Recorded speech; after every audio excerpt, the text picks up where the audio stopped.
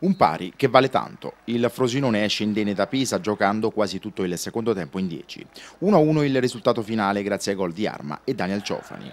All'Arena Garibaldi Stellone presenta i suoi con un 4-3-3. Le novità rispetto all'esordio sono Daniel Ciofani in avanti, Bucher in mediana e Blanchard come esterno sinistro di difesa. La partenza dei nerazzurri di casa infatti è veemente con diverse sortite, le conclusioni però dei pisani non inquadrano la porta difesa da Zappino. I toscani nel primo quarto d'ora continuano a spingere forte e al quattordicesimo passano. Cross di Pellegrini dalla destra ed incornata perfetta di Arma, il migliore dei suoi che infila Zappino.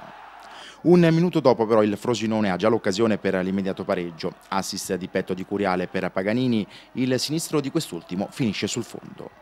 I canarini si scuotono, la squadra di Stellone alza il baricentro e trova il gol. È il ventiquattresimo. Daniel Ciofani dentro l'area di rigore raccoglie un invito di Paganini e insacca alle spalle di Pugliesi. La gara torna in equilibrio, l'ultima occasione del primo tempo però è ancora di marca toscana. Arma serve Martella sulla destra, l'esterno entra in area e di sinistro supera Zappino, ma Frabotta prima della linea riesce a liberare.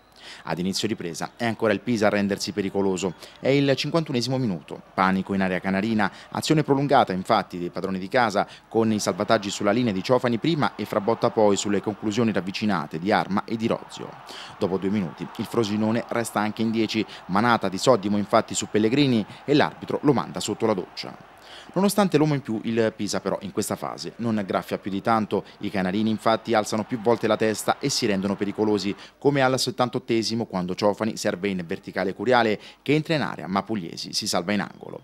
Nel finale ci prova ancora il Pisa, il tiro di Napoli viene deviato in angolo da Zappino, l'ultima opportunità i toscani l'hanno al 96esimo, punizione di Giovinco che si infrange sulla barriera, poi il triplice fischio finale.